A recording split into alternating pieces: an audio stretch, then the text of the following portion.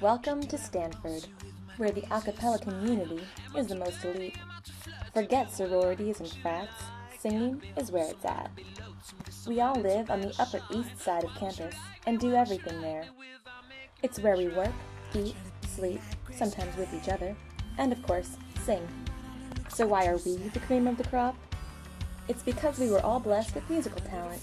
Well, that and a trust fund. And who am I? That's the one secret I'll never tell.